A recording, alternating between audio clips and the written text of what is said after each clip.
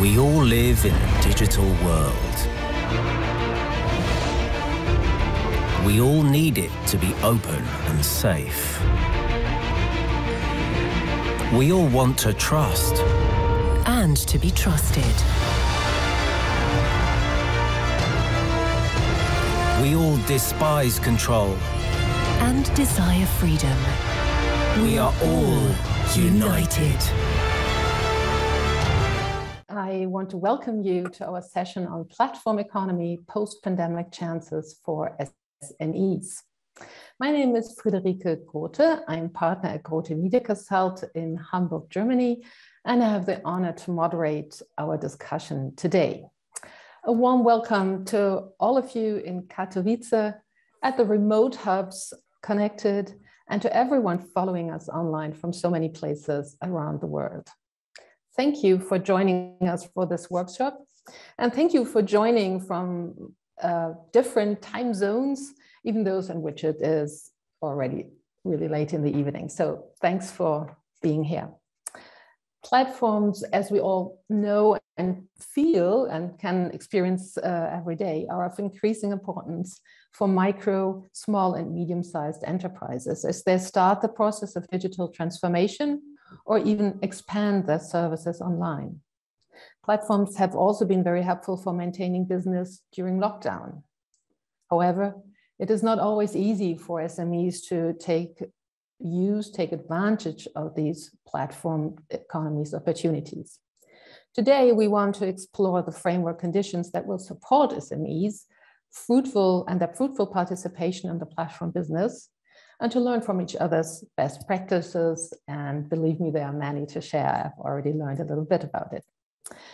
I'm very glad to have the most knowledgeable ex expert, experts for this discussion.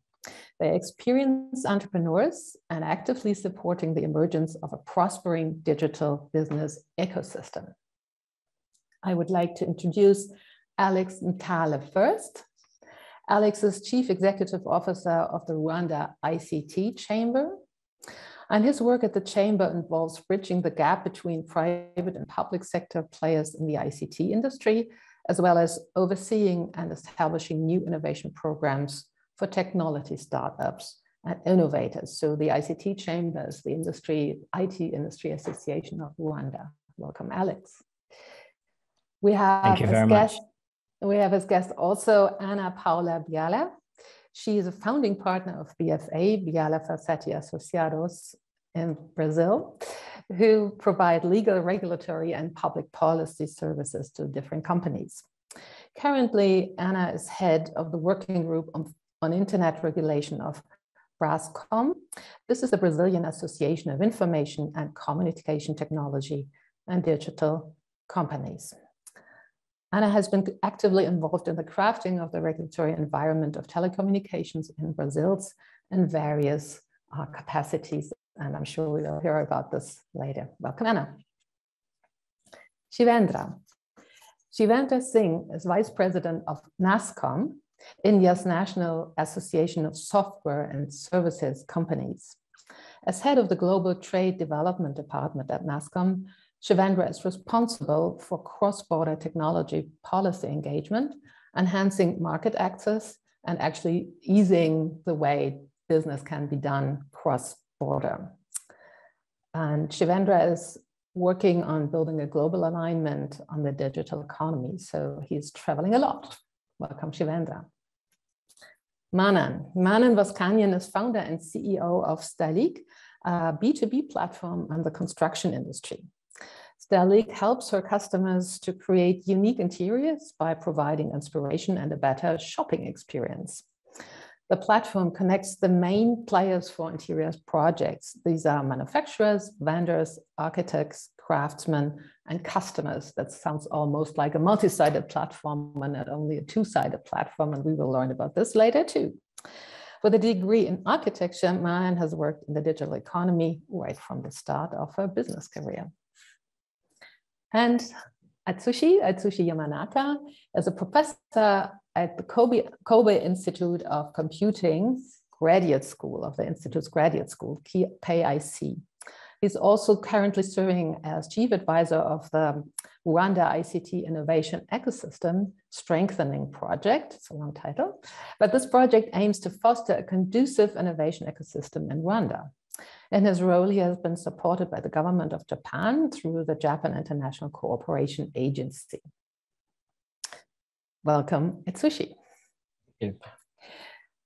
Now, um, before we start, let me make a few remarks uh, on how, uh, to the audience, to all of you, how you can actively participate in the discussion. If you are connected via Zoom, you can write in the chat as usual, or raise your hand to take the floor. If you want to make to take the floor, please make sure to raise your hand via Zoom, no matter if you are on site in Katowice in conference room four, or if you are online somewhere else. In the conference room, though, there are also, of course, uh, um, technicians who help you, and there are microphones on the floor, and you can, can go there and make yourself seen. If you're following us via, via YouTube, Slido would be your option. Our online moderator, Katerina, who some of you have already seen, will now share his screen with the QR code for Slido. Okay. And we have this picture a little bit while I speak. And so everybody who's interested can um, take the picture of the QR code or connect otherwise. Slido has a few questions already and you can post your observations. We will screen share every now and then what has been posted so far along our discussion. The poll will be open until tomorrow evening and this way you have the chance to, um, you have some extra time to add your comments if you wish to.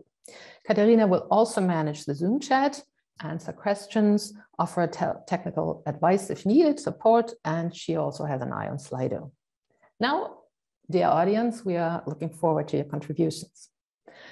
Okay, and we are off for the discussions. Uh, we want to talk first about how the platform economy um, is able to promote SMEs and how SMEs can tackle their challenges. And so, Alex, I would like to know from you, in your opinion, what is the greatest potential of the platform economy for SMEs? Uh, uh, thank you very much, Dr. Frederica. Um, I think the, the, the greatest potential that um, we've seen, at least in our environment, um, is clustered in around three elements or three aspects. One is increased access to markets, uh, two, increased access to financial services, and increase access to skills uh, development and skills or capacity building. Mm-hmm. And um, for for the platform economy, uh, what we have seen in the uh, recent past, uh, even catalyzed by by COVID nineteen, is that it grows with the internet, or the internet gives it uh, quite um, a stupendous uh, growth rate. And that uh, is really what, what is feeding in. But uh, going back to access to markets, what we have seen with platform economy is that it is leveling the playing field and enabling um, removing barriers that previously, uh, whether it's uh, geographical barriers or time um, and so on, or even resourcing, uh, technology-wise uh, that were needed uh, for SMEs to participate in the global economy or even in the local economy. And that is um, where we're seeing a lot of opportunity. World Bank Group, IFC, estimated that by 2025, um, the internet economy in Africa, sub-Saharan Africa, will be valued at over 180 billion dollars. Wow uh, by 2025. Now, uh, it highlights uh, a few uh, subcategories or subsectors uh, that will drive this growth. Uh, fintech, um, e-commerce, um, the gig gig economy, which is also falls into into that into that space. But when you lump all these up and look deeper, what's really um, at the foundation of it all is um, technologies uh, such as uh, cloud uh, cloud services or SaaS, that removes um, investment requirements that would previously have been a hindrance uh, to SMEs with um, really very uh, little resources uh, to participate. And that's here for us at home, what we have been seeing. Um, the case actually, uh, a recent survey in, in, in Kenya indicated that 90% of surveyed businesses use M-Pesa for payments, for accepting payments. Um, in Rwanda, uh, just last year, at the height of, uh, of the pandemic, we saw an increase uh, in digital payments of over 400%.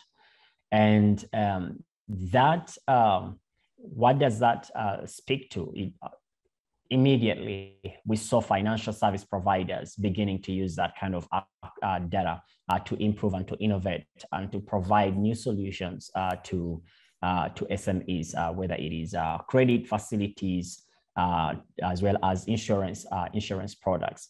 So, on a whole, I, I can say that this is increasing whether it is customer engagement or supplier engagement. MS, SMEs are being um, supported. Uh, on the second part, which is access to financial services, where we see the greatest opportunities um, and, and potential, is that Africa has been, um, or even SMEs in, on the continent and mostly in developing countries, have had a challenge of accessing financial services simply because the data about their credit worthiness uh, was missing. And new, uh, what these platforms are doing are generating data, are facilitating that data generation process. And with that, are providing new um, mechanisms or new tools uh, for uh, product developers uh, that are developing, whether it's lending uh, instruments or um, or other instruments. And that um, is also the, the, other factor now. Uh, I won't I won't go into YouTube and its capacity and other platforms like Coursera and um, Udemy and Upwork, etc., which are increasingly becoming um, uh, the go-to uh, place um, for people to learn quick uh, trades, uh, for people who want to improve their capabilities, and SMEs on how to use uh, different technologies to increase their uh, to improve, the, grow their businesses. So th that's where we're seeing the opportunity is immense. Um, and, and, we're seeing that it is, it, it, it is growing at home and within the region.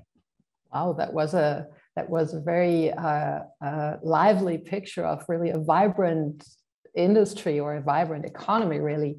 And I saw uh, several nods from from our other discussants, and um, I think um, when talking about the possibilities of of mobile payment would I'd like to start with this a little bit and the technical infrastructure needed to do this. Um, Anna Paula, I, I, saw you nod at this point, at this part particularly. I hope I got it right.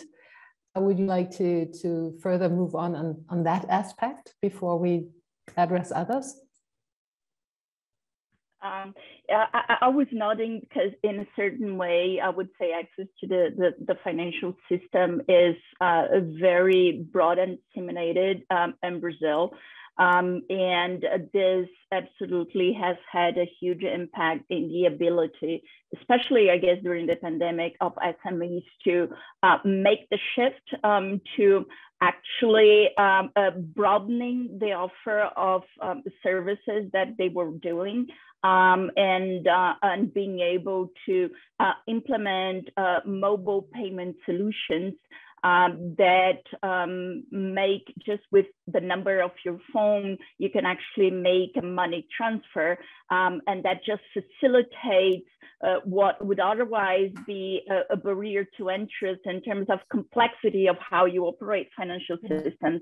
And with that, really um, in small, uh, simple entrepreneurs can just launch um, a, a mm-hmm. platform or launch their services in an e-commerce platform and be able to complete the cycle um, to a certain extent. So, um, and and I I I hear and I guess I, I second all the, the issues that Alex I'm sorry, raised, your, but your last words were not uh, um, audible. Uh, um, I was concluding to say I second uh, all the issues that Alex raised. Um, and um, indeed, uh, from the mobile payment perspective, being able to implement uh, a, a solution that facilitates is absolutely essential uh, for the inclusion uh, of SMEs um, in, the, in the digital uh, platform mm-hmm. ecosystems. And we have seen uh, the growth of mobile payments uh, in Brazil, and that as a driver for especially small enterprises to mm-hmm. actually succeed. Mm-hmm. So it really lowers the tra- threshold for, for market access at, at this point. Uh, of course, but when you talk about mobile payments, there's uh, one big issue. Uh, I won't say in a nutshell because it's really a big issue, but it's the, the, the question of trust. You, you, you need trust that, that uh, you really have the, the, the, the correct uh, um, partner on the other side of the transaction. And and uh, Shivendra, I know that you've worked on this on, on uh, well, it's cybersecurity issue, but it boils down really to, to small issues too of, of, of trust and offering hands-on support. Um, would you like to comment on that? Thank you so much, uh, Frederic. Uh, I think uh, the first and foremost important thing is that digital economy is, is where we are going to see all the growth, uh, you know, which is happening. So I call it digital transformation 2.0 because this is digital at scale. So whether it's uh, AI, uh, you know, cloud, uh, you know, machine learning, cybersecurity, all of these 5G, uh, robotics, all of this is, is driving, uh, you know, huge, huge growth. In fact, uh, so much so that traditional uh, technologies are coming down from about 70% to about 30%, and digital transformation 2.0 will grow to about uh, from 30 to about 60 to 70%. Uh, and this has been, uh, you know, uh, driven by by a number of factors. Uh, you know, as we know, in in in the period where you know we've seen the pandemic, the tech sector has become even more important so when we come to trust, for all of this to thrive, uh, you know, um, you know whether it's cloud services, and I, I, I heard Alex talk about uh, you know cloud adoption, whether it's uh, software as a service, platform as a service, infrastructure as a service. This is growing by leaps and bounds, you know, between 16 to 50 percent. Um, you know, we did a recent survey in India and uh, you know and then one of the big concerns uh, you know cxos have pointed out is on data privacy. And and and, and this is something which uh, you know is very important. Around the world we are seeing a lot of traction and we don't have a body like a wto you know oecd is doing some work and then you know we are trying to see there is a schrems II judgment and eu has gone ahead with gdpr and you know, gdpr and you know uh, and then UK is, India is coming out with its own personal data protection bill. I think one of the things that we, we all need to build is an alignment on, on cross data data flows because you know this is like a or this is like a horizontal cutting across AI, cybersecurity, cloud, 5G, 6G, and you know for all of this to grow, uh, you know data privacy and security are going to be very very key how do we build an alliance, uh, you know, globally uh, to ensure cross-border data flows, uh, you know, and I think and interoperability around, uh, you know, some of these areas. So I think that's uh, something that we as NASSCOM have been working very closely, um, you know, especially because we have a number of FTAs, free trade agreements, uh, working on both with the UK and, and with the EU. Um, and so we are trying to see if, you know, associations, uh, you know, in this case, UK associations and, and NASSCOM have put together a joint paper, uh, which we are finalizing, uh, you know, to present to our respective governments. While, while the personal data protection bill comes in, uh, and, you know, while there is a lot of overhang from EU GDPR, uh, how do we work on building that? And I think that's going to be very, very critical for all the great growth that we are talking about, uh, which needs to happen this could potentially be a bottleneck. um, and, and, and we all need to work together on that. Thank you. Thank you so much, Shivendra. Um, how, how can we um, find the, the criteria necessary really for this alignment, as you called it? Uh, Anna would like to comment on that.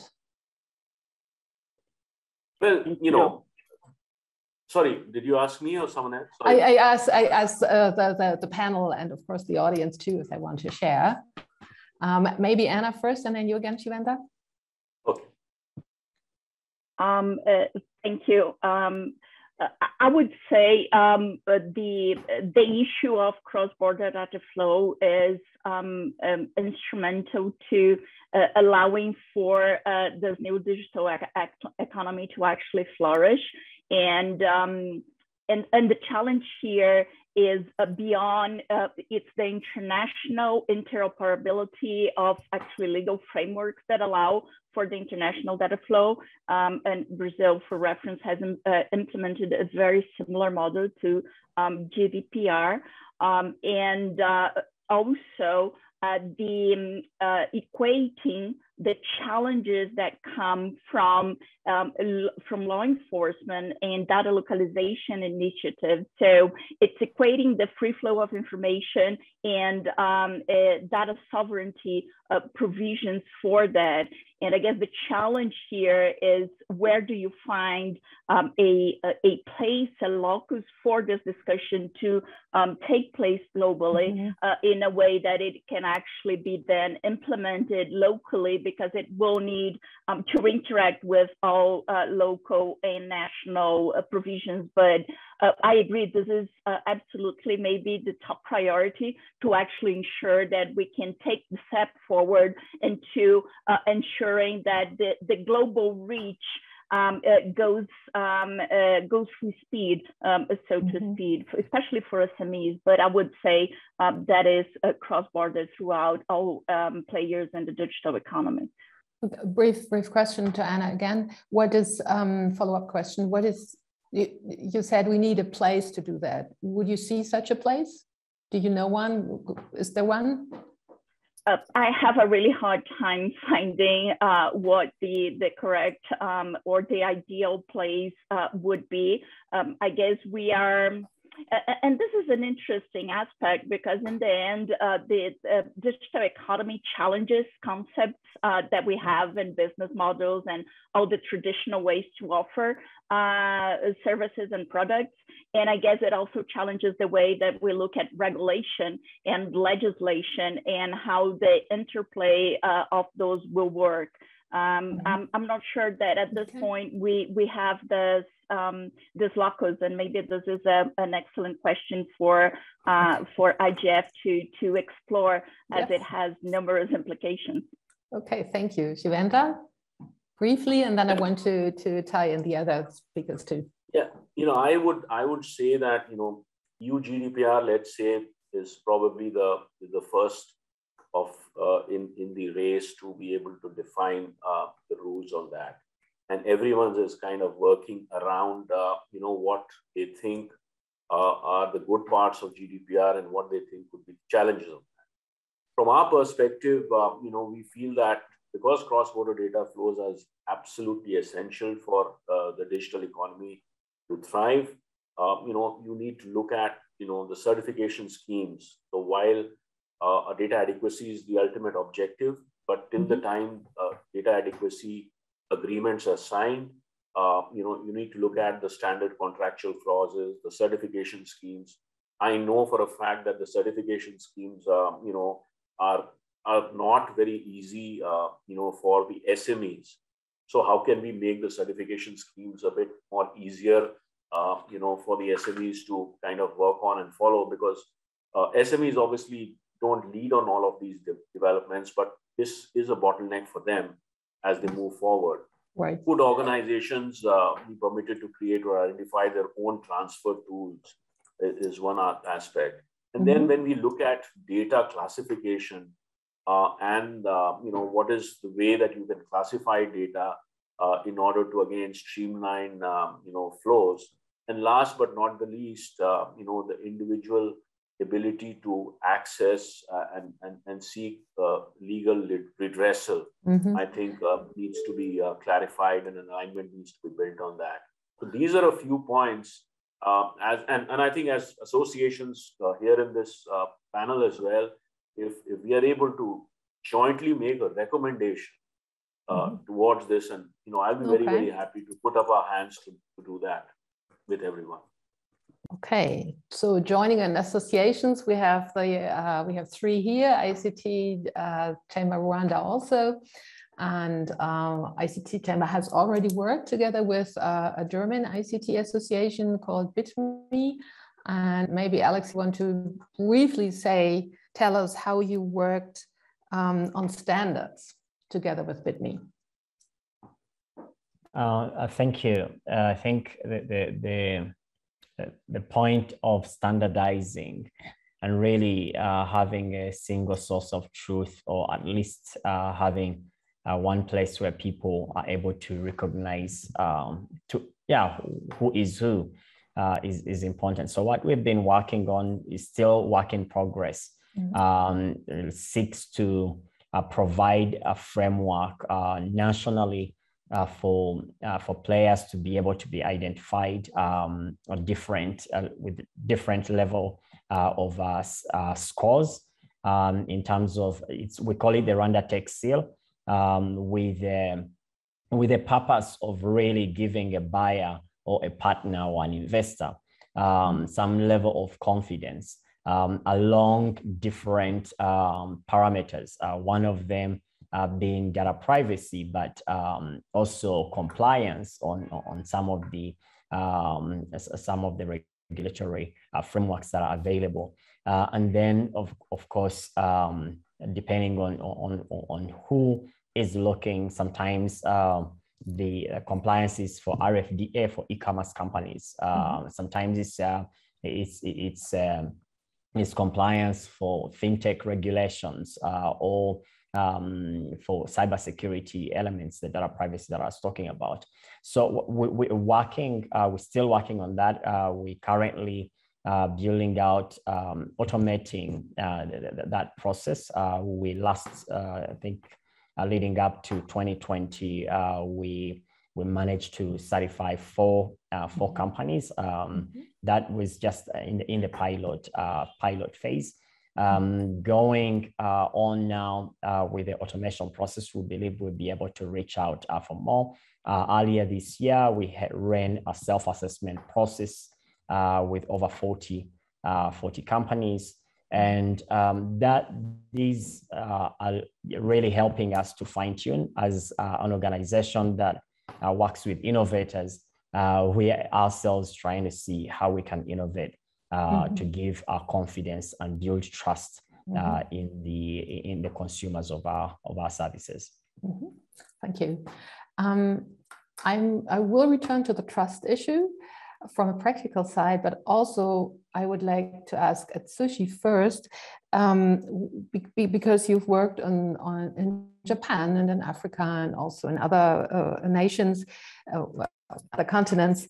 Um, where do you see the, the, the place where this kind of alignment that we were just talking about, uh, wh where could this happen? So if we have the industry, um, uh, industry statements, joint statements, or so, would, would, this is something virtual. Do the, where would they meet to, except for IGF, obviously, but where would they meet to to come up with ideas and solutions? Thank you, thank you, Frederick. Yes, that's true. Actually, um, at least for example, cybersecurity and data privacy, so that's a very, very, very big issue um, in many countries. And like in countries in Africa, they are passing the regulations, laws, saying that all personal identifiable information about the citizen have to remain in the country. So mm -hmm. of course, that would actually really hinder cross-border mm -hmm. transactions. It's, it's going to be a big deal. Now, um, there is going to be a fine balance, I think. Of course, the state, the government want to keep their information, their citizens' information safeguarded, uh, and also not to be exploited, of course. Um, but there's also the growing needs because transactions mm -hmm. is actually grow nowadays. Um, one of the things, of course, I mean, it has been mentioned so far in quite many panelists here.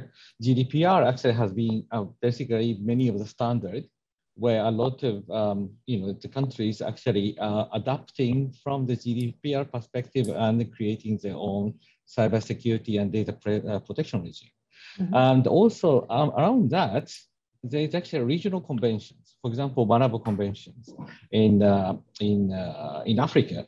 And if mm -hmm. I remember correctly, it was a uh, it was a Budapest convention. there's so many cities named convention. I think for the European uh, regarding the data protections and cybersecurity. Mm -hmm. uh, so there's actually regional organizations which is actually, um, you know, convention-wise, they are trying to actually promote sort of standardizations or harmonizations mm -hmm. between the different actually data protection and cybersecurity regimes. And that is also, sorry, do you want to say something? no, no, go on. Yeah, I have a, okay. I have a follow-up question, yes, but okay, on, okay, please. okay. All right, so basically on, on that front, I think there is, is quite interesting or quite important actually act, uh, actions within the regional organizations to basically provide the framework. And then they could sort of uh, negotiate between the regional organizations okay. to, to make sure that uh, we have a global you know, stuff for standard mm -hmm. or framework mm -hmm. or mm-hmm. policies to do so. Now, that's actually harmonization parts. Uh, but there's another side of the coin to it. You know, it's, it's always good to actually have the harmonized policies. But uh, the challenge really is how to implement them, right? Mm-hmm. The compliance is a big thing. For example, yeah. uh, a lot of African countries and a lot of, you know, a lot of developing countries and developed countries, they are instituting the digital national IDs or a common national ID system. Mm-hmm. Um, enforcement of that or implementation of that is really, um, you know, it's a problem. For example, Kenya, uh, they have a um, uh, they have a they have a new sort of ID where they could actually do the government transactions, um, but they just actually created. You know, they actually started with this initiative first, but they created data commissioner just like uh, you know a half a years ago. Mm -hmm. So the compliance or the enforcement or the implementation of this you know standard or the framework that is going to be really the issue especially in the developing countries and especially with smes uh, I think Alex mentioned about this as well, but that is going to be the key. How can we actually encourage both the, the government uh, as well as like uh, private sectors to actually have, you know, to comply uh, with these uh, and also implement this framework. I think that is really the key mm -hmm. for moving forward. Okay, thank you. I, I heard that uh, it is good if we have some some starters or front runners in various areas and then others can can follow but um, international data flow uh, um, reliability trustworthiness um, I want to bring in Manan, sorry Shivendra for the moment, but I want to bring in Manan with her experience. Um, how does this translate to your experience? Um, you, are working hands-on really on developing your platform. You started out with, with an e-commerce, with an online shop basically, but now you're starting the B2B platform. And uh, the GDPR is, of course, a, as a, um, uh, a law that, uh, that manages privacy issues and not business data flow not really. I mean, it's important. It's very important to create trust, but business data is maybe something something else. And your companies, the companies you work with, your clients have business data maybe they want to share or don't want to share. Yes, um, thank you. Um, mostly we don't have that much trouble with business data, actually, to mm -hmm. be mm-hmm. honest. Um, we have issues with, with the GDPR because um, we are, of course, using software from the US. I mean, everyone is using a AWS, everyone is using Microsoft, etc. And um, it's not clear if you're actually supposed to use those tools in Germany if you're mm-hmm. creating a platform, because um, you never know what happens to the personal data. So this is, of course, an issue we have to think about because uh, there are no comparable companies in Germany that you can use to build a platform like that. Um, regarding the business data, uh, all of them are quite free actually because you can always just uh, find the data online as well um, they are very interested in gathering customer customer information. Um, mm -hmm. Who's ordering what product? How many uh, items are they ordering, um, what kind of person is ordering what kind of product. Um, I think this is one of the most valuable information you can gather uh, online. Mm -hmm. It's very valuable to our um, companies as well, and we will still have to find a way to to be able to deliver trends without um, without um, um, mismanaging the trust. Mm-hmm. Or yeah, well, the, the disclosing customer data. Yes. But I was all, all, also talking or thinking about the prices, like price transparency would also give maybe in your you said you're you're a very uh, special branch of industry mm-hmm. fragmented and so everybody would be i guess very very interested in the prices that that uh, your clients like manufacturers on the one side and maybe architects or, or builders on the other side um, um, are paying for a special product or service. how do you manage this kind of business data? This has to stay secret. We will okay. only be able to to show the recommended reselling prices and of course the vendors can mm-hmm. show the prices they want to set for their products but we will never be able to actually show the prices that have been paid because if okay. an architect is buying huge amounts for a big project the prices are always been uh, talked about separately mm-hmm. okay. um, but we have also um, seen some vendors who said uh, so some manufacturers who said we can't disclose our vendors because we are afraid that uh, competitors could address the same vendors i mean this is really weird in 2021, right? Because every, everything is digitalized. So these are some weird issues we are actually dealing with. Okay, but but not on a large scale, as I take it. Well, on a daily basis. okay, on it. Well, well, I, that could be a large scale. Um, Shivendra, is this still something? Uh, is your comment still still? Um, does it match where we are now in the discussion?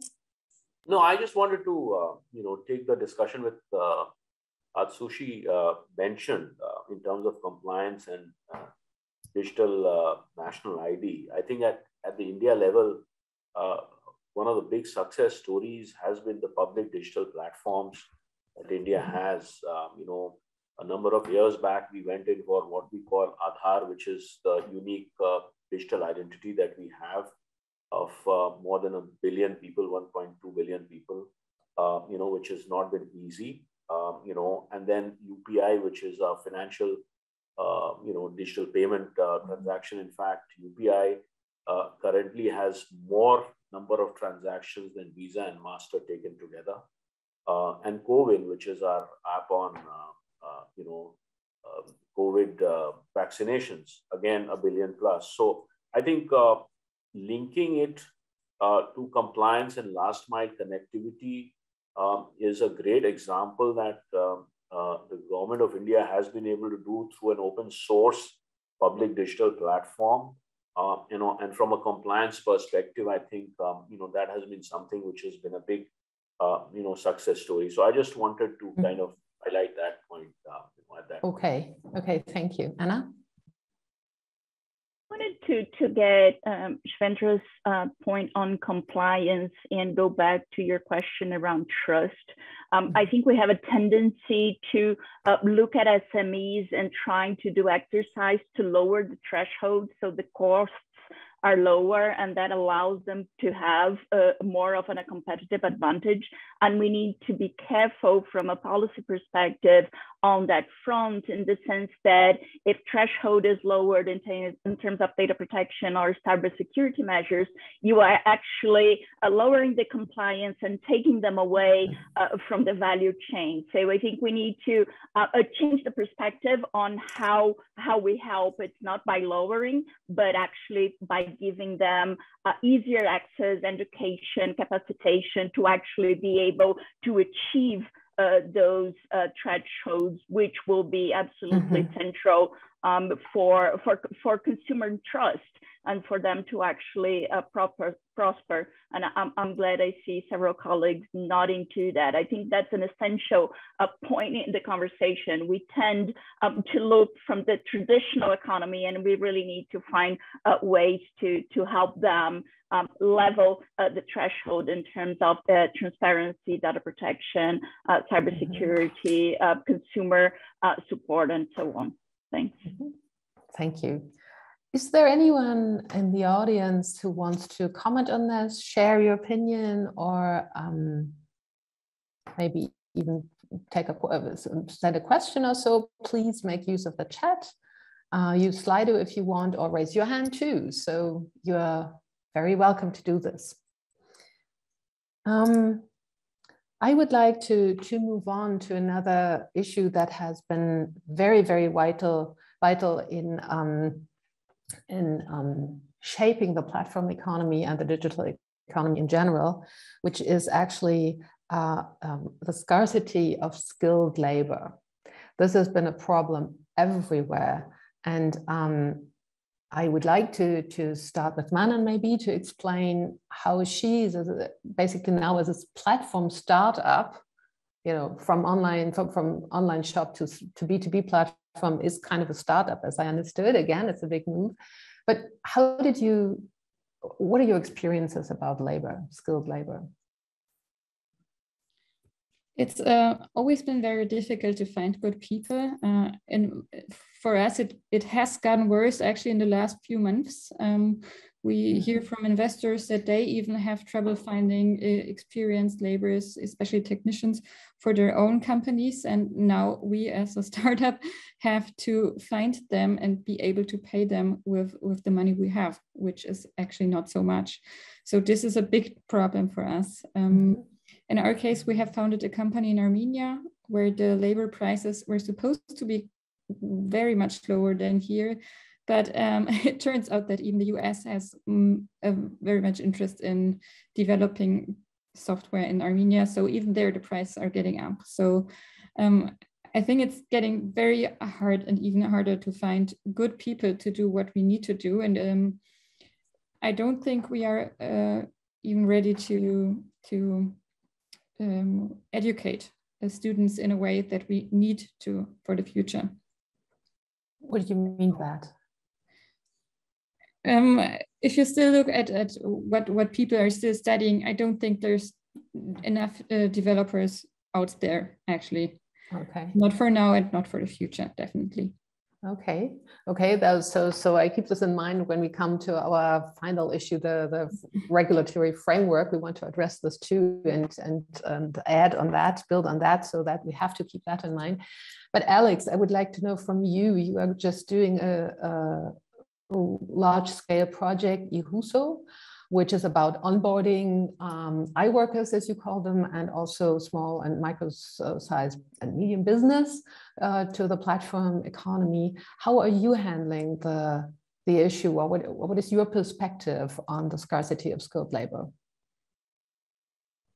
Um, thank you again. So this scarcity um, of skilled labor is there is is a fact now. We see it as uh, uh, as Manon was explaining that our demand today is uh, uh for developers is high. Uh, we've had experiences um, from US clients uh, to some of our our member companies asking them for hundreds of developers and even stating they don't care where they come from. Uh, we have others uh, that are asking for thousands. And, um, and, and, that really speaks to the fact that uh, digitalization um, of the global economy is happening um, and it's everywhere and that's putting a strain. So what we are trying to do uh, within, uh, within the project um, and with, just with, within the chamber is to uh, try to use the resources and the innovation hubs that we have uh, to, um, to upscale uh, the talent that we have um, uh, in partnership with uh, different partners, government as well as development partners. Uh, we're happy the, the, um, the project that, that Atsushi Professor Tsushi is leading, is facilitating on that, where we are training developers on a cohort basis, mm-hmm. but also um, running even for other um, uh, training, even in other skills, uh, fourth industrial uh, revolution skills like um, 3D, um, computer aided design, computer aided manufacturing, 3D printing, um, all, all sorts of automation. So from, from that point of view, and others actually, artificial intelligence. So, so it, it, the, the demand is immense, but uh, beyond uh, having the demand and, and saying, oh, we, we know the demand is out there, we're also creating channels uh, to aggregate uh, aggregation uh, platforms uh, to help identify talent, um, at the same time um, to aggregate employers and to mm-hmm. know who is looking for what, because you cannot mm-hmm. be training for individual um, individual employers on, a, uh, on an ad hoc basis. Uh, but you could identify uh, streams mm-hmm. um, of a particular skill sets or technology stacks, um, if it is uh, Java programming, for, for example, or AI and machine learning uh, as a stream, then you, you, you have a way of grouping, uh, of creating these kind of groupings, and you prepare talent uh, for these um, uh, for the employers. So uh, it, it's uh, it's an ongoing process. Actually, just got a list uh, from uh, from our partner, government partner, of over two thousand six hundred graduates that are that are seeking jobs. that there's a difference between having an having a degree, having a paper, and also being being skilled, having mm-hmm. hands-on skills and and we're looking through that uh, to see that all different uh, groups of engineering skills that are needed. Uh, last week we had a meeting uh, with uh, manufacturers, and uh, they're looking for talent from. Um, agri processors to metal um, metal workers and so on. So the the, the, the, the demand is there.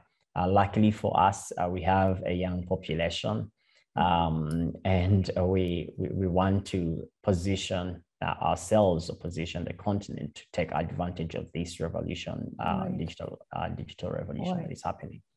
So, so one takeaway would be that uh, maybe matching platforms could be like like you are doing now could could be a solution. One of obviously several solutions to, to to this problem. Anna, I yes. know you've been working at Brasscom too, uh, also on, on, on, this issue of um, scarcity of skilled labor, if I if I recollect this uh, correctly. And um, what are your experiences? How are you trying to tackle this problem? Uh, Brasscom has done a number of studies to um, understand uh, the, the, gap uh, between what the, the ICT sector um, needs in terms of, um, of various of various demands and uh, what's actually available in the market. And, and uh, it seems the gap is actually growing. The number is near uh, 100,000 um, um, people uh, without or 100,000 jobs that lack the people with the capacitation to actually um, fulfill them. Uh, we currently um, have some initiatives in terms of trying to, you need to start early. So trying to include uh, in the educational process in school, uh, coding and STEM capabilities um, to actually be able throughout uh, time to, to bridge that gap. But that, that has been a challenge and it's, it really um, uh, there is a big um, effort in terms of including that not only with um, technical capability courses uh, now, but looking at how you bring them uh, from the start to, to be able to fill that gap. And as you look at, for instance, issues like artificial intelligence, um, that um, we currently have a, a, national strategy plan and it's in the works of actually being uh, more relevant in terms of local development. Uh, we do lack the, the people skills to be able to um, develop that and, and work locally, but, but the number is really stunning. Mm -hmm. Good. Good, thank you. Um, I would like to, to ask Katerina if we have uh, some uh, Slido uh, contributions to share. And maybe yes. good. Can, can you show them, please? I will show them to you in a second. So there we go.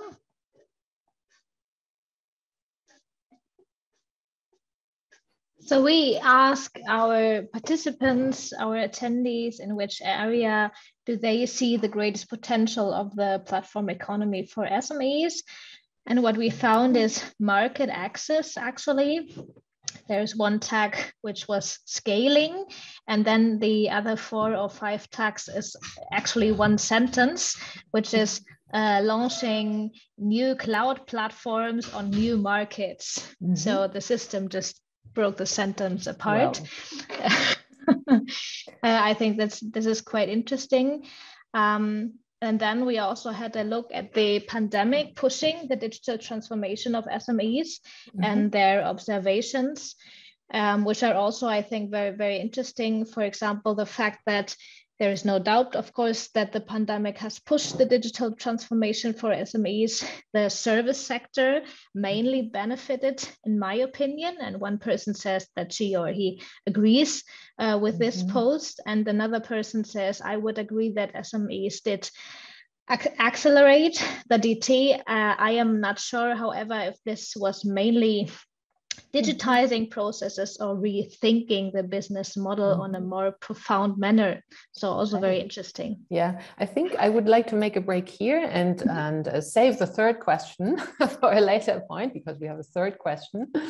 Uh, because I, I would like to move on to, to this question: what really happened and what can we learn from what happened for the further uh, promotion of SMEs in digital uh, business? Uh, how how the pandemic affected SMEs? I'm, I'm really curious to, to know that from you Atsushi. Uh, uh, sorry, Frederica, can I actually make a, a, small sort of comment on Anna's point? Yes, please. Yes, of the, course. The please. needs of human resource development. I mean, that is a oh, profound, okay. actually, I mean, it's, it's, it's an issue. Um, you know, JICA, Japan, Japan International Cooperation Agency, has been working very, very um, deeply in many countries on, especially on the science and technology sort of uh, capacities. Um, and then it's been a long process. You know, it's in many mm-hmm. countries they've been working mm-hmm. more than 10 years, more than mm-hmm. decades, and still there's a lot of actually challenges to be met. And so it's it's it's important, of course, um, that uh, we actually have the skilled sort of coders, yes, developers. That's a, that's a very important part. But we really need to think in a bigger scale in terms of you know mm-hmm. creating the capacity of the people who actually have the logical sort of thinking, as well as like uh, science and technological you know, knowledge and so on, you know, mathematical skills. Without these foundational skills, we will not be able to create, uh, you know, the, the developers who are capable mm. of actually, you know, meeting the demand wow. globally. Wow. Um, another, another part which is important too is also the language actually you know, for example, countries like in Japan, uh, they won't actually have someone who can understand, who speak their own language. So which is a bit unfortunate, but I think this is also very important part. I think. Um, you know, even though that they, are, they may actually have the coding skills uh, or the skills necessary to actually, not only the coding skills, but different skills, the language actually remains to be pretty important, even though we have, you know, the yes. translation tools and so on and so forth. Yeah. Uh, uh, so that's also something that we need to be mindful and how can we bridge yes. the gap. Um, I agree. For example, like uh, JICA has been working in Vietnam, for example, they actually created a Japanese language school with actually IT schools combined mm-hmm. to actually cater to specific market. So that is mm-hmm. something that's also, you know, like for example, government could really think about, you know, not only the technological skills, yeah. but also the linguistical and also the business skills as well. You know, that's actually need to be La- language. Language is a governance issue or like tool maybe even language learning so okay so I, I, see we, we have to postpone the pandemic uh, uh, uh, results no no that's fine i think manan is on your on your trip right you want to maybe say more about education Yes, yes. I think okay. this is one of the most important things because we don't only need developers. I mean, this is one of the biggest needs we have that we also need these people between development and the business side who can translate the business requirements into uh, smart technology or technology features that are actually usable. Um, mm-hmm. which is a big problem because developers are always looking straight ahead and, and they have some trouble figuring out how to implement things that are actually needed from the business perspective. Mm-hmm. And then there's also the aspect that the things you need offline might not be the same things you need online because the people tend to react differently when they're online. So how do you find the right solution to translate what what you do offline into an online world and, and maybe even connect the two things? I think this is something which is really new and um, maybe you have to start um, educating yourself within the company. So, because there might not be the right person who has the mm-hmm. understanding of your specific industry and also of the right mm-hmm. technology to use. So, uh, the person in between might be from one of those areas, and then you have to educate them in the second one yourself. I think okay. this makes so. So this is kind of a of a different level and speaking the same language.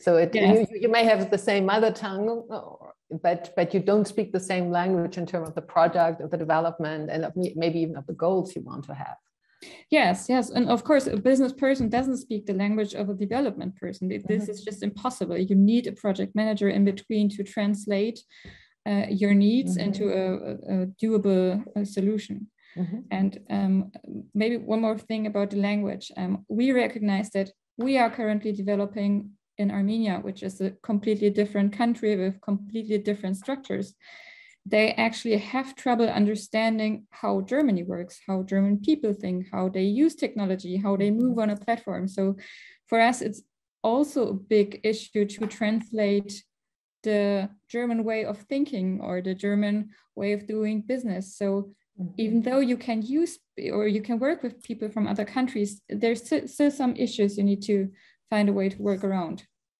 To, to so do our, our talk about earlier, we, we, we had the, the, the data data flow, which is a good thing and, and kind of a framework for reliable data flow, but then we have also got quite a different framework um, for understanding.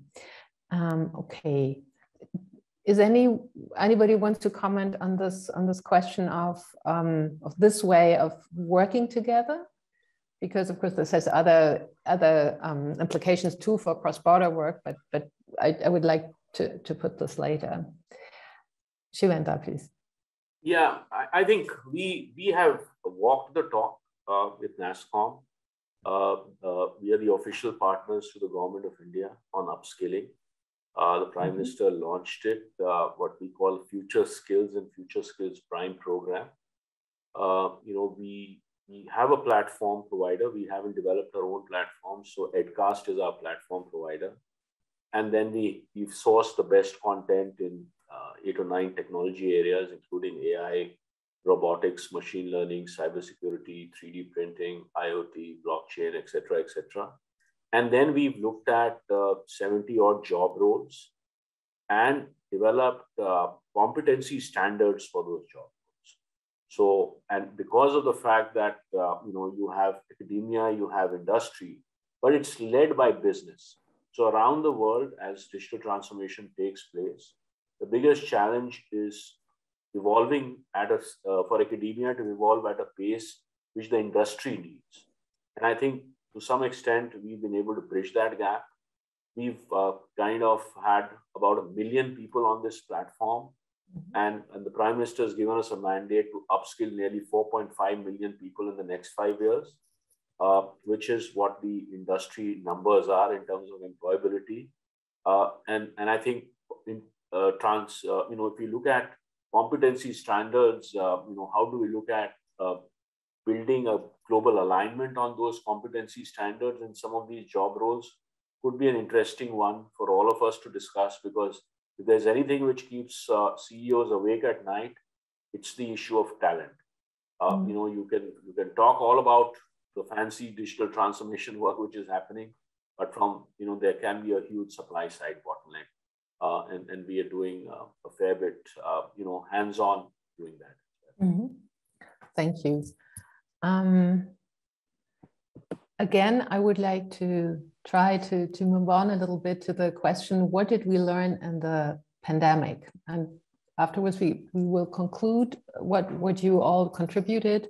And we will also talk about, again, about the, the comments that also were um, input in Slido, like market access and local platforms and scalability. We, we will maybe can actually uh, work a little bit from, from this when we talk about how the uh, platform economy helped or even promoted um, small and medium-sized enterprises.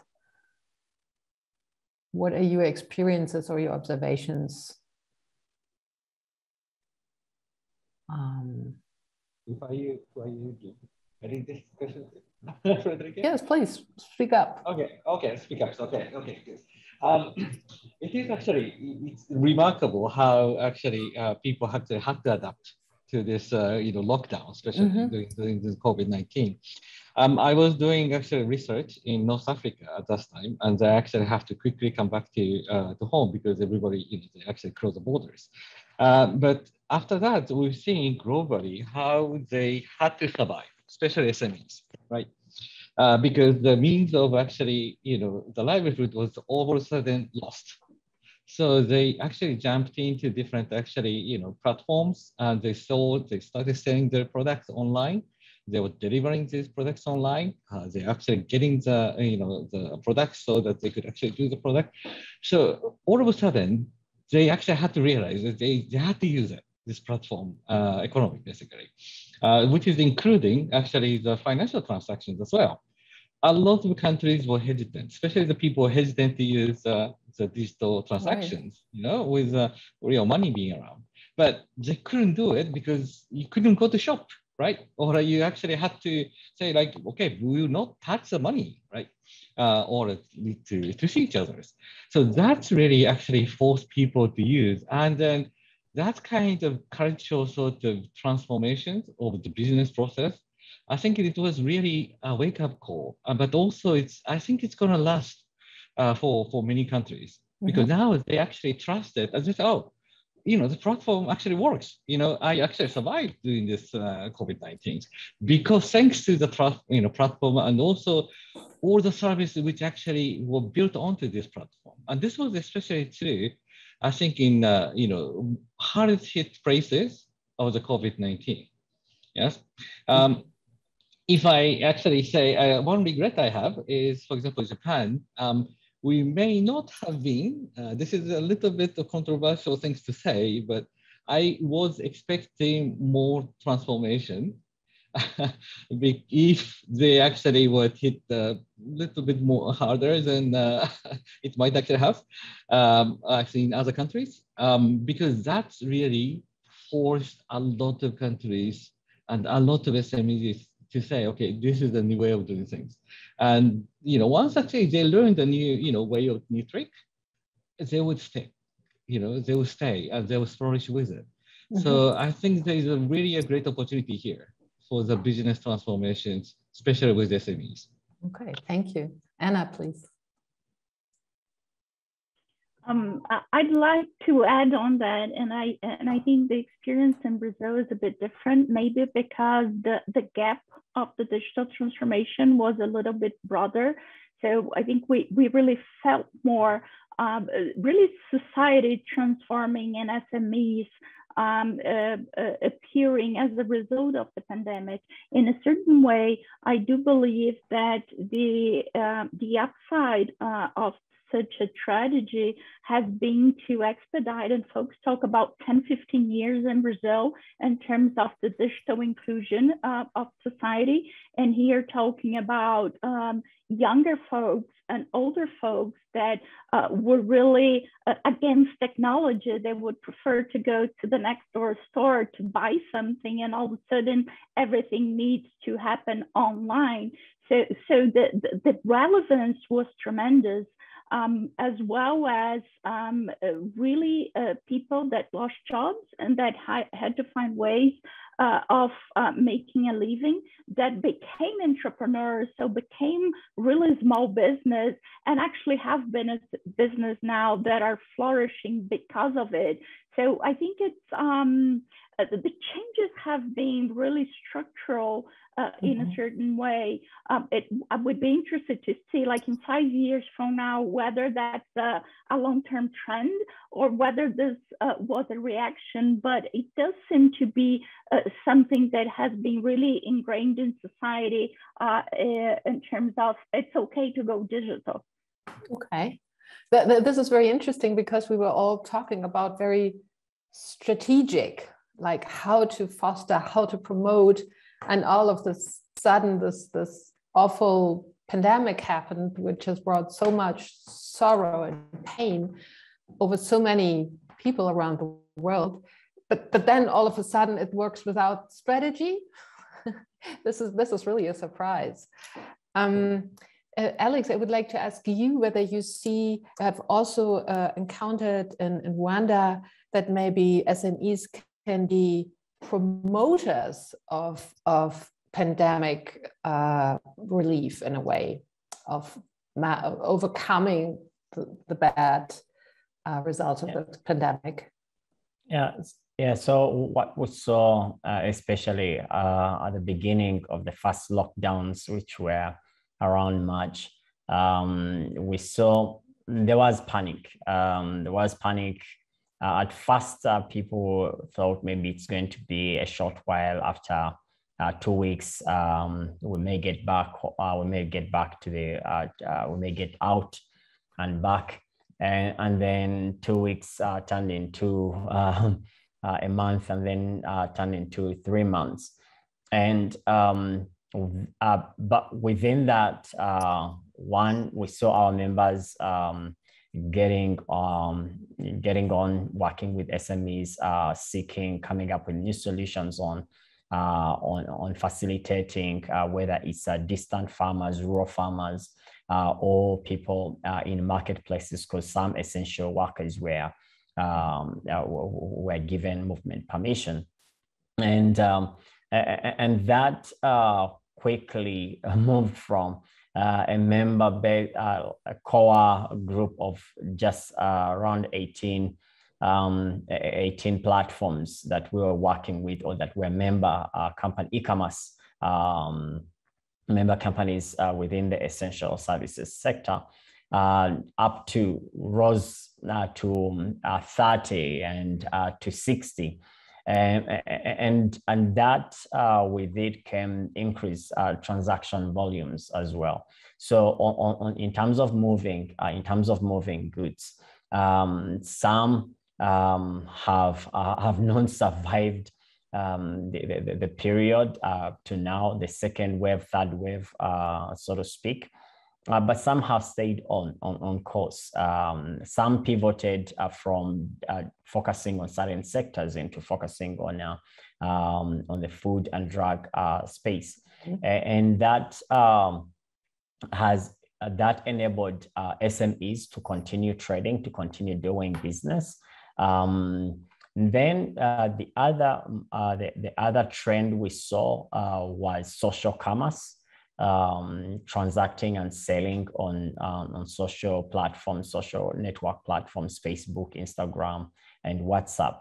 And so besides uh, just having to go onto a marketplace, uh, people were setting up their own shops um, mm-hmm. on these uh, on these platforms, and that has also uh, increased um, uh, tremendously. Actually, last week uh, during our local IGF, uh, we had one uh, youngster testifying how that has grown over uh, over the last 18 months.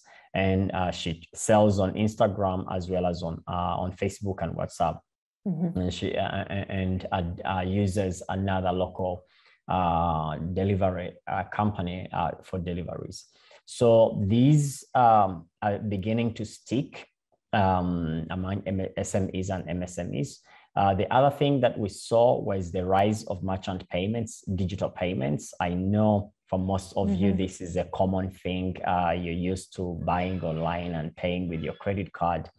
Um, uh, with the prevalence of mobile, as I earlier said, uh, we saw those numbers uh, going up. Actually, mm-hmm. um, merchant payments were up by 530%.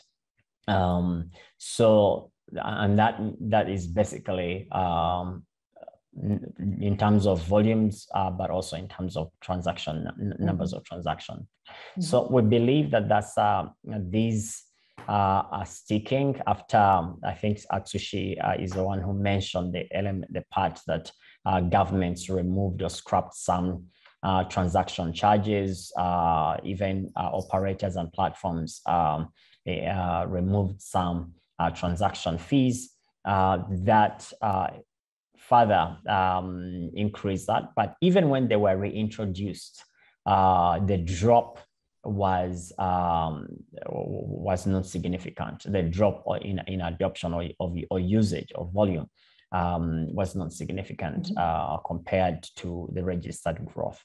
So yeah, um, that's it. That's what we're seeing uh, in Rwanda. Mm-hmm. And we're working also to to see how we catalyze and uh, and make sure that there's retention uh, mm-hmm. and minimize uh, those that go back to the old ways.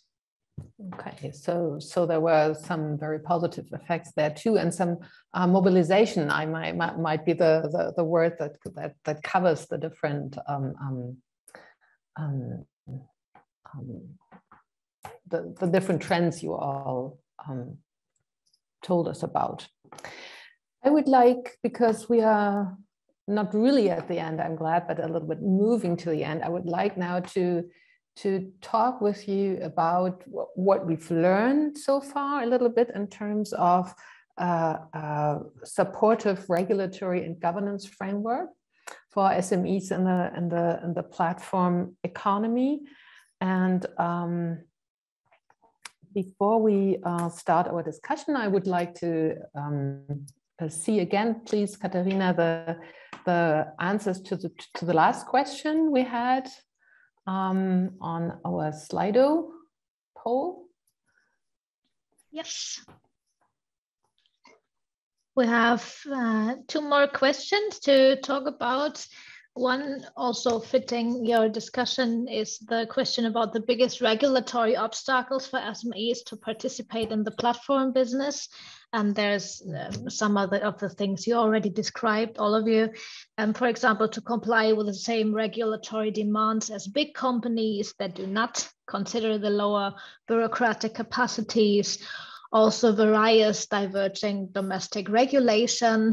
Um, and um, I, I, I think there's I wish for a clear global legal framework that would be appreciated and another point fitting to this point, diverging national regulatory frameworks which hinders uh, them to scale beyond one country. Mm-hmm. So the matter of regulation, um, yeah, above countries um, is is quite interesting. And then we have um, one question, but that might be one a question for for the end of the discussion because um, the the audience had the option to post open questions here. And one person wanted to know how to, participate in your initiative. So um, this might be something for the end. Okay, thank you very much. But I think indeed that the, the, the answers or the input um, to the uh, regulatory obstacle question is really, really revealing. And we had already, as Katharina said, uh, some of the cross-border issues. But um, I would like to, to um, ask you what uh, to describe the clash between the local and national norms um, with a global nature of trade, to, to, to put this a little larger. We had the data issue that was very important, but I think this is um, other issues uh, come in there too, like example, uh, the promise of the platforms is to, to have market access uh, as, as it was mentioned in the, in the first Slido uh, uh, answer too. So increase market access, access, reach customers you haven't reached before. And um, so then all of a sudden you maybe come to to to an international platform or international sphere with, with with your product and service and you have countries from customers from other places.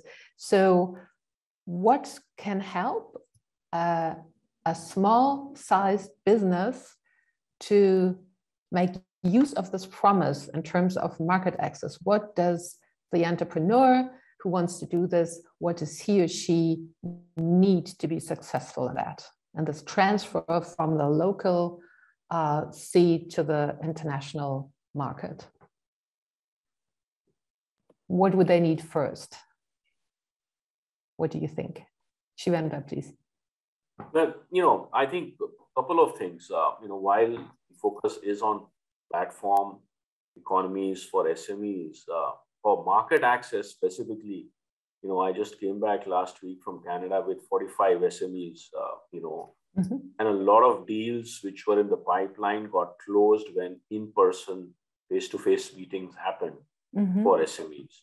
Uh, you know, unlike large organizations who have teams in different parts of the world who can close deals, uh, you know, for SMEs, I think, you know, that in person uh, connect is, is absolutely critical. Uh, you know, so that's one. The second is obviously credibility. How do they, you know, how do you build credibility for SME? Because at the end of the day, uh, you know, you know, unlike a large company which has, uh, you know, uh, golden, uh, you know, clients as, uh, you know, as testimonials for SMEs, it's not the same.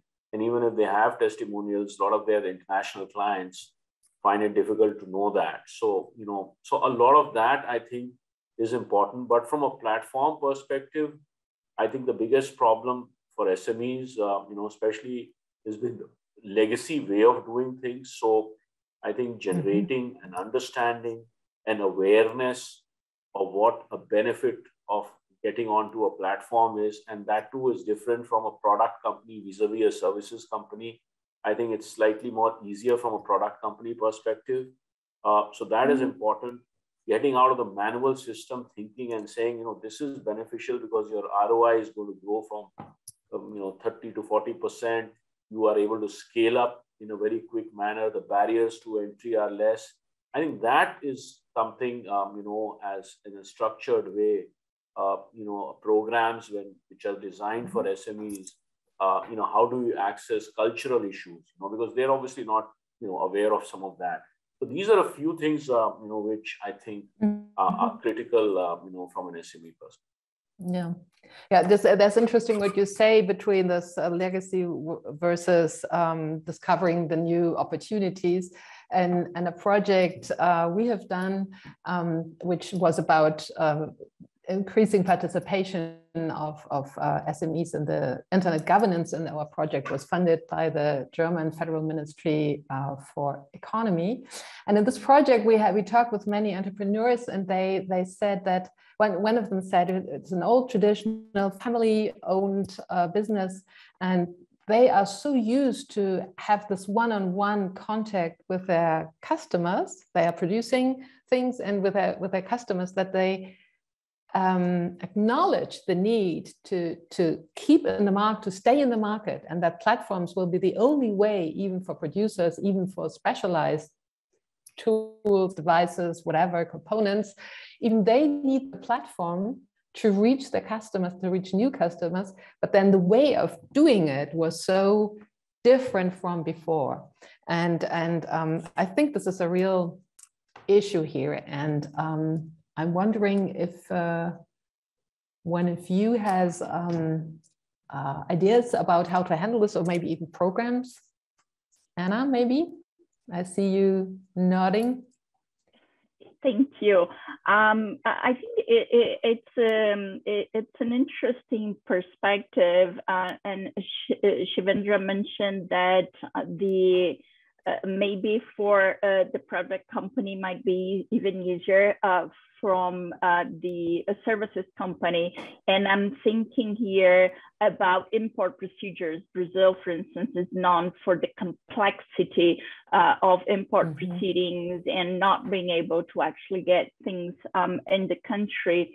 And in that sense, maybe for this topic, we actually have um, uh, places where this conversation can happen, which is which is way to actually facilitate uh, the flow uh, of physical products um, um, in different jurisdictions uh, and maybe with ways to simplify that uh, for for SMEs. Um, and uh, I do agree uh, here uh, that uh, the legacy uh, way of doing things is is really a problem, and it's a problem for this whole discussion. We are used to look at the legacy and trying to replicate that mm -hmm. for for the for the digital economy and that just doesn't uh, doesn't work but it seems to me that from a where the digital connects with the physical or the delivery of physical goods, it might be easier um, to address some of the questions than uh, we are only talking about flow of data uh, or rendering of mm. uh, services per se. Um, it's, um, it's more difficult to actually uh, get the regulation or all the oversight in the, in, in the services arena. Yeah, that's, that's, that's right. Um, Atsushi, please. Actually, that's that's very interesting. But you know, uh, uh, Frederica, I think you mentioned about the cases of like uh, the German companies, SMEs, actually having a difficult time adjusting. Um, I was thinking maybe how actually that might be a challenge, uh, actually uh, advantage or opportunities for like especially the new sort of SMEs. I think how can you actually retain this sort of individual touch within the digital platform area or digital transactions. I think that might be a real opportunities here. You know, we talk about, of course, business process reengineering, you know, changing everything. Of course, that's, of course, in the process wise, it's important. But at the same time, can we actually incorporate this contextualization or individual sort of connections in the new digital transaction arena? Because that actually might be a key for not only the traditional SMEs actually come on board, but at the same time, actually having sort of whole new sort of set of, you know, the, the customers. And then, and then I think, uh, I think it, uh, it was mentioned by actually Manan about the needs for translator, right? From the technology side to the um, to the customers, but also from the customers to the the producers or the service providers. If you're talking about the global sort of marketplace where they have so many different contexts, you know, uh, Manan was talking about this. Uh, you know, Armenian people do not understand how the German works, but can we incorporate perhaps that kind of translation facilities or like uh, connection facilities within the new digital platform? I think that might actually give us a whole new set of uh, market access. What do you think?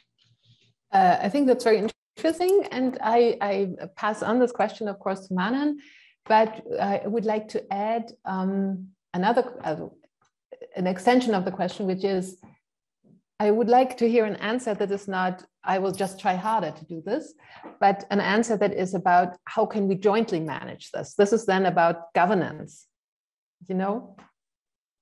Manan, please. Yes, I'm not sure if I can your I can answer your extension. Um, no, no, start with your answer anyway.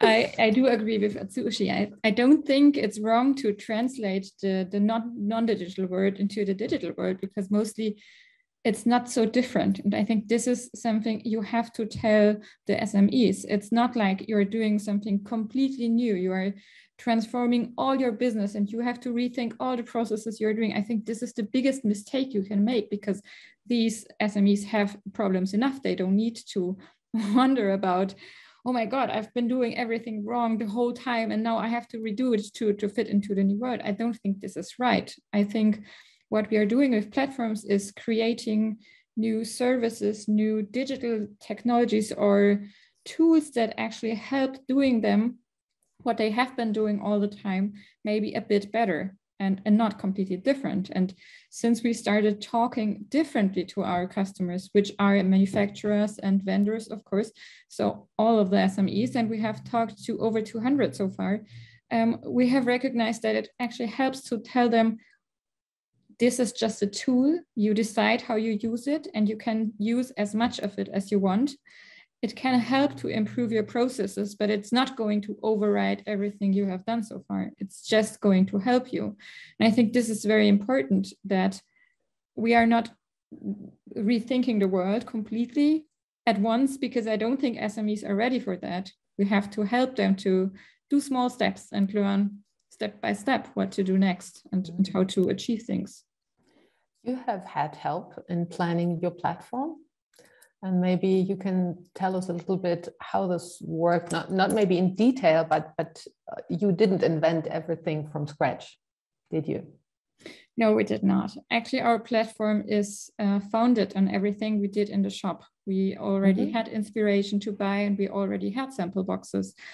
And what helped us was that someone from outside looked at our business model and said, okay, these are great features, but at the mm-hmm. moment you are doing it yourself. If you just outsource this to the crowd, if you let the community do the work for you, so invert your business, you might be doing the same thing, but much, much more efficiently. And you, you can reach more people and you can scale the, the, the, the, the products and services you are offering so that's what he actually did and mm-hmm. he told us a lot about um, the economy you have to build around your business model and the networks you have to work the, the community you have to build to be able to work with it. So i think um, what's very difficult for smes is to understand that um, platforms are much more transparent and they they build on networks and working together and, and being open for cooperation instead of being closed up and saying, I, I don't want any competitor to know anything about me and I am going to be the only one. I think mm -hmm. joining and doing this together, even with your competitors, it can be very powerful. Okay, that's that's a very important uh, uh, link there too to how to cooperate. Um, but yes, I I know that all of you are experienced in um, creating, developing, and running really support networks. And, and we have had public uh, support, as Shivendra uh, told in, in various ways, but we also have the support of associations and industry associations. And Manan had uh, the support. She, she went to a, to a um, um, digital, let me call it development agency, something like a competence center. Fostered by, by, by the government. And um, so this is a network. What kind of elements do we need in this support network? This is a regulatory framework, starting, of course, with laws and maybe international um, um, um, um, um laws too, or international treaties uh, too. But then we have the law, but then we have the private public sector what what are your experiences with that? What what uh, what have what has been helpful in creating a governance framework in this cascade um, that worked well? If I may, uh, I think uh, there are there are ways that you can have a mechanism for um, specific line of, lines of financing, for instance, that would uh, benefit um, the, these companies coming into the market.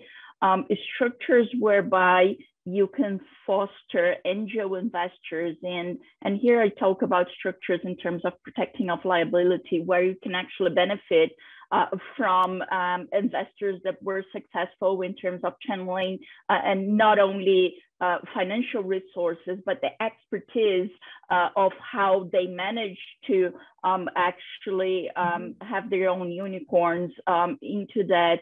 And, and, obviously, I'd say trade associations or forums like the, the IGF in terms of capacitation.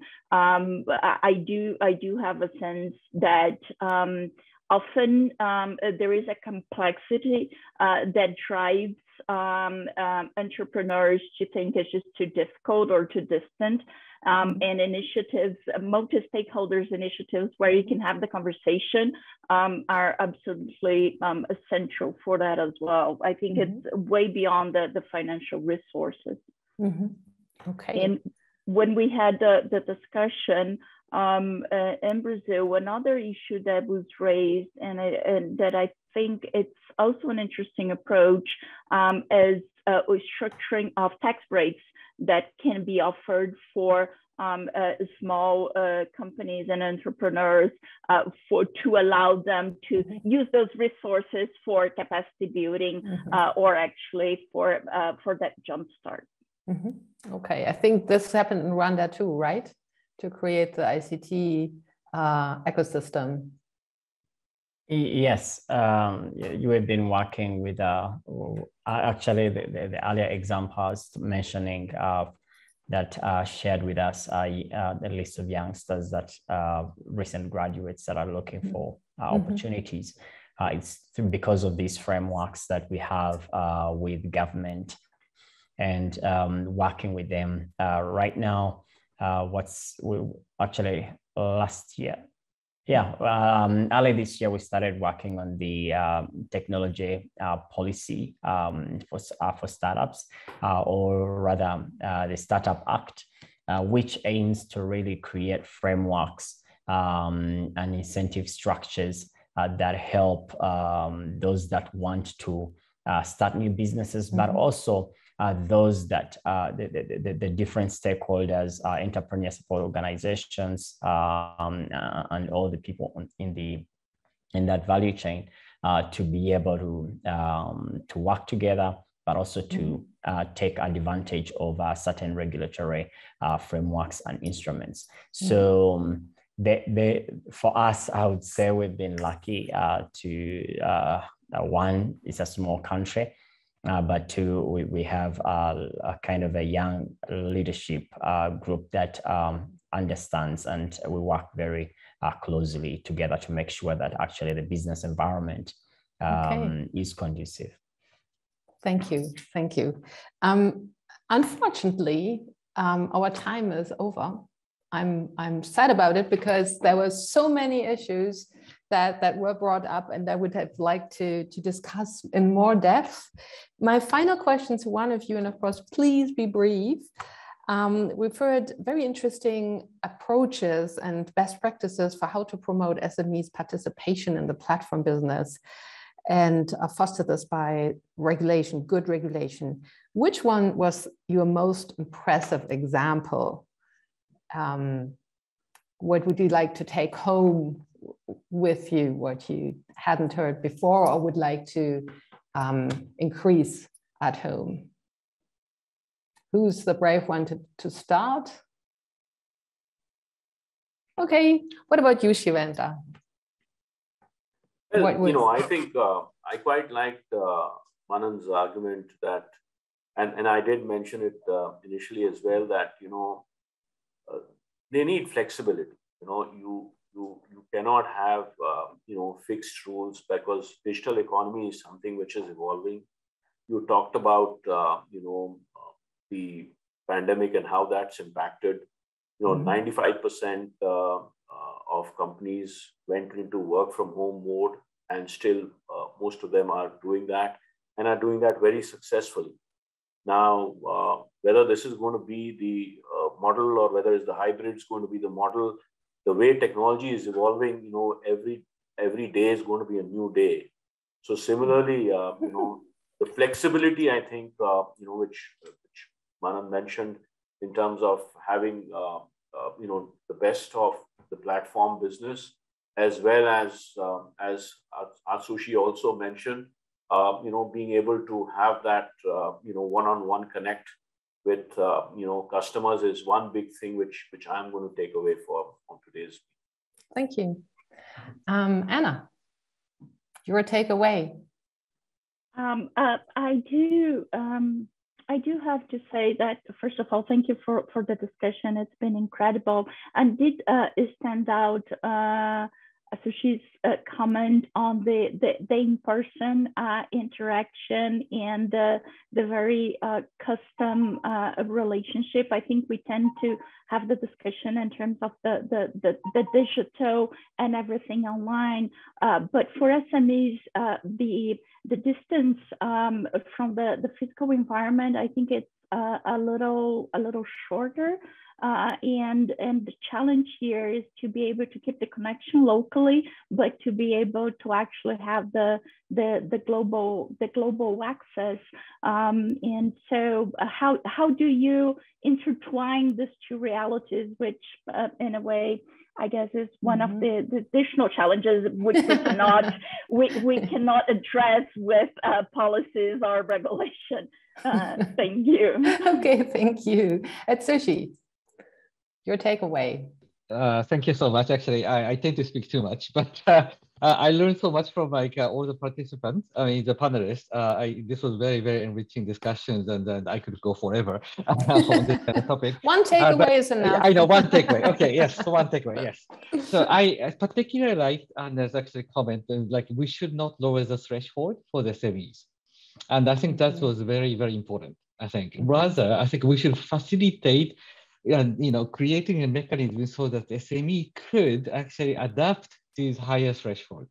I think that is very important because we're not actually you know making SMEs less competitive, right? So in order for them to be more competitive, of course they have to you know go to the higher level. Uh, but it's really important that we provide the facilities, we provide the education, like digital you know, literacies and all these things, so that we could make sure that they would adapt and also you know, individualize their services in the digital, digital arena. Thank you. Uh, Manan, your takeaway.